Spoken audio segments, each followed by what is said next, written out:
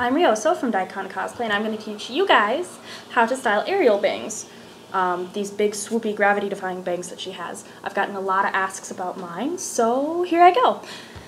What you will need is some holding gel. I'm using Redken 06 Rewind Pliable Styling Paste. Since it's Redken, it's normally pretty expensive, but I got this as like a free sample, and it works really well because it's itty-bitty, but a little goes a long way for this stuff some hairspray, just any sort of heavy duty spray. I prefer got to be Glued freezing spray, but I can't find mine, so I'm stealing my roommate's. And a teasing comb.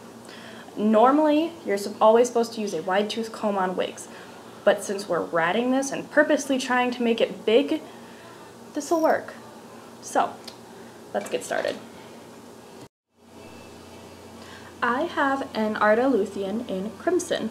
Uh, this is my Ariel wig. I've brushed out the bangs to get out most of the product so that we can start fresh for this tutorial. Um, as you can see, she's got lots, this wig has lots of long bangs, and it's thick, and the center part is in the middle so we can kind of do whatever we want. So, the first thing you're going to want to do is part this wig in whichever direction you prefer. This wig happens to have an alignment on one side of the part where it just kind of naturally wants to go. So I'm working with that. I am using, getting it all the way to the side, right here, if you can see. I don't know, can you see that? Probably. Um, right here, as you can see, is the side of the actual wig cap, and I am using hair all the way from there just a little bit extra to just help hide that awkward little crease bit. And just kind of swoop that off to the side.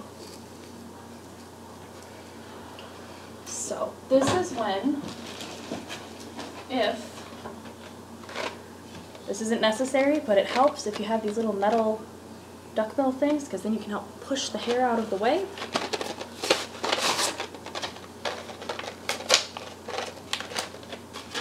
So, we're going to start on the, we're going to start with the bottom pieces of hair.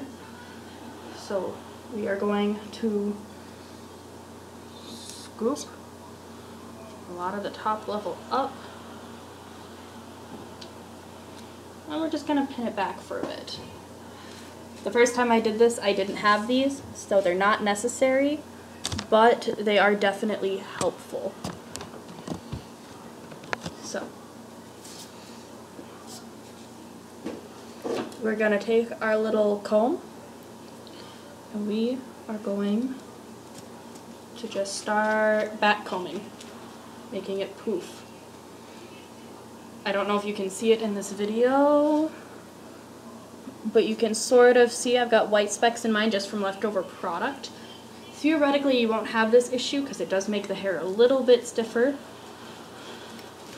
and a little bit harder to rat. But if you're using a fresh wig, you will have lack that. And then it'll just kind of stay like that. It will start to flop, but that's okay because we don't want our hair quite that large. And you do this for all of her bang pieces.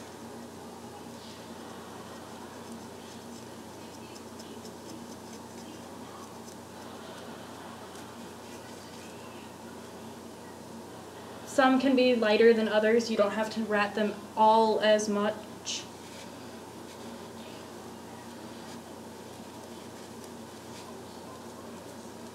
And then you do the top layer.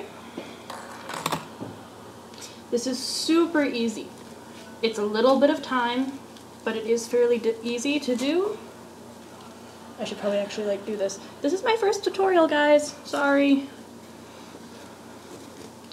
So, so you've got that bit of volume that you're looking for for an Ariel wig because hers is very much away from her face. And now, here comes the fun part. You can kind of already see that mine is doing this because it's been styled before, but as you kind of start working it excuse me, as you kind of start working it, it's going to start doing the thing where it's off of the face of the mannequin and it's going to do that gravity defying swoop that hers does. But to help hold it in place, we're going to take our rewind.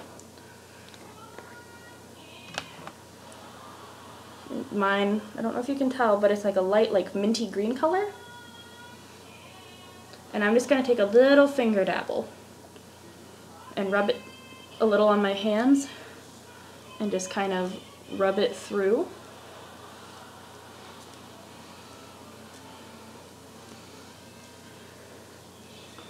You don't want it too heavy. Her hair does not look like there's a lot of product in it. That being said, these kind of bangs are kind of impossible to do without product. And get the ends too, because that's what's going to give it that swoopy look, is if you have the ends all the way swooped as well.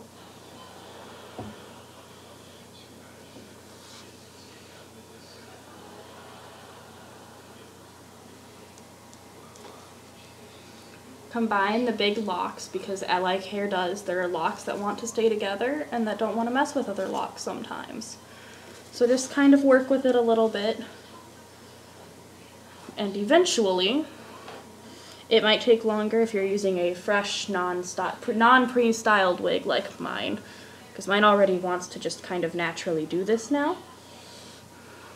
But eventually you should get something that looks sort of like this where, I mean, I'm touching the forehead the, of the mannequin and I'm not getting hair touching my fingers. Good.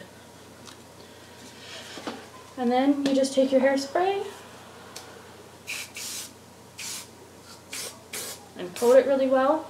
Again, I prefer using Got To Be Glue Free Spray because, oh my goodness, that stuff holds like wonders. But I stole my roommate's because I can't find mine. So, that is some Ariel bangs. It is pretty easy to do if you've got the right supplies. And obviously you can retouch. They're, these products are very easy to brush out if you want to redo it. If you want to fix a few little pieces like this kind of sticking out, you just take some more of your gel and you kind of just gel it in place, freeze it in place. If you need to back comb it after you've got the product in, that's okay too. Um, these products are all very, very workable. So, that is my tutorial and good luck to everyone. Again, my wig is an Arda Luthien in Crimson. So, good luck! I kind of forgot to mention, if you do not spray it properly, it will kind of start falling, as mine is right now on my head. Um, your bangs will start falling. But it lasted me all week during a geek co uh, convention. It lasted me all the weekend. So just make sure that you know you spray it well. It helps once you put it on your head. I, I do the upside down thing where I tip my head over and then put my head my uh, wig on and flip my head back. Um, it does help if you hairspray while it's on your head so that it can get the proper shape on that as well.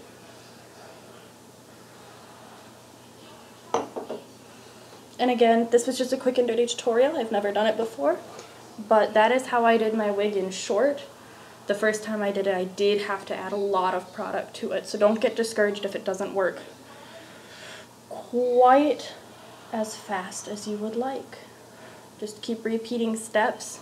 Hairspray, add gel, hairspray, add gel. Um, and obviously I keep messing with mine until I have it quite how I want it just like real hair because, you know, sometimes it's a lot easier to style hair when it's on you rather than on a mannequin. Um, there we go. There. Ta-da! So, that's an Ariel wig. Um, I hope this guy this was helpful for you guys, and yeah, have a nice night.